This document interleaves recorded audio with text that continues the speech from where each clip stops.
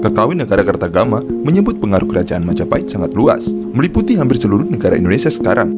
Dari daerah di Pulau Sumatera di bagian barat sampai ke Maluku di bagian timur. Luasnya daerah yang terpengaruh Majapahit itu dikuatkan oleh penjelajah Portugis, Tom Pires.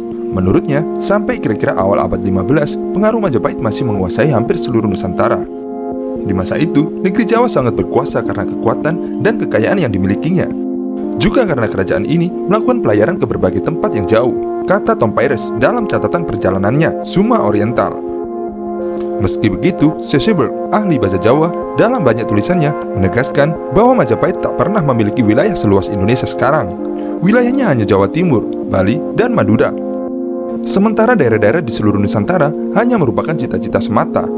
Terlepas dari itu, menurut arkeolog Hasan Jafar, harus diakui Majapahit pada waktu itu merupakan sebuah kerajaan besar dengan basis ekonominya yang bersifat agraris semi komersial. Hubungan dengan kerajaan lain di Nusantara merupakan hubungan kerjasama regional yang sangat menguntungkan.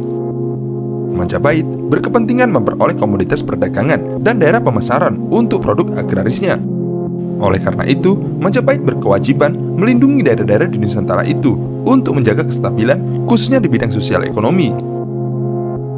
Negara Kertagama menyebut daerah di Nusantara itu merupakan daerah yang dilindungi oleh Sri Maharaja Majapahit tulisan Hasan dalam masa akhir Majapahit. Apalagi dengan negara-negara di Asia Tenggara. Hubungan dengan negara-negara itu lebih kepada hubungan persahabatan atau mitra satata. Tak tercermin dalam kakawin negara itu kalau wilayah Nusantara dan kerajaan lain di kawasan Asia Tenggara seperti Siangka, Ayodapura, Dharmanagari, Marutuma, Rajapura, Singanagari, Campa, dan Kamboja merupakan wilayah kekuasaan atau jajahan Majapahit. Pengaruhnya setidaknya pengaruh kultural. Penguasa Majapahit waktu itu telah berhasil menegakkan kesatuan politik dalam suatu wilayah yang luasnya belum pernah terjadi pada masa sebelumnya. Majapahit sebenarnya merupakan kerajaan yang terdiri dari kesatuan negara daerah atau provinsi. Di bawah seorang raja Majapahit, ada sejumlah penguasa yang masing-masing berkuasa di sebuah negara daerah sebagai paduka batara yang biasanya kerabat raja.